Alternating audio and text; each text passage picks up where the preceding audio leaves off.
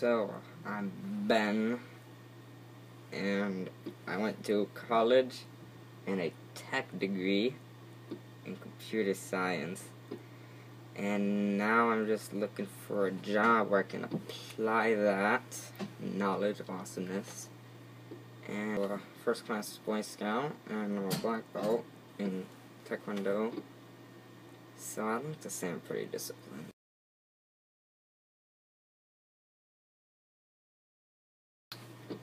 Well, I'm good at making things do what not exactly what they're designed to do and still get the job done. I'm also pretty good at working in a team with other people compatible and I can adapt to different situations. Just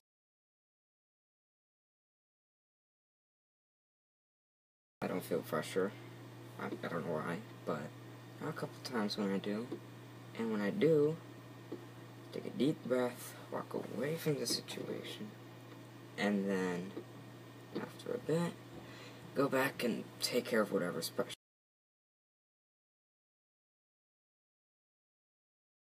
Let's see. Optimistic for when things are down. They can still be happy. I'm determined. When things get hard, still can go through it hardworking, so then they actually get the job done pretty well. And oh, and detail oriented. So the good job that's done is like really good.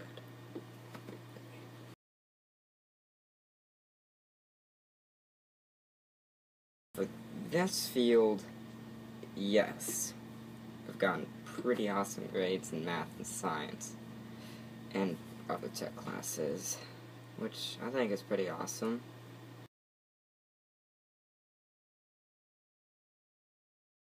First off, my goal is to invent or design a new awesome piece of hardware.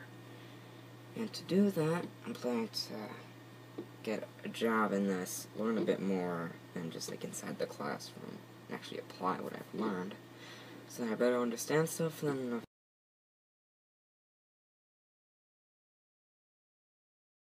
and I can think of ideas pretty quickly, so that'd be awesome, quite convenient. I'm also an awesome comedian, like a boss. So, I can bring a good smile here and there around anywhere.